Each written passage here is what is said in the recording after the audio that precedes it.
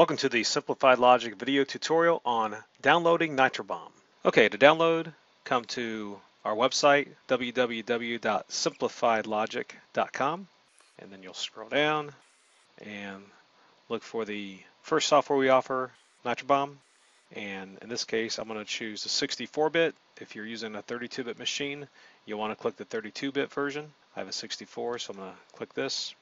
This will then go to your downloads folder And now I'll click show in folder and I'm going to cut and move this to C drive, users, the username, and we'll paste it here and then do a extract all.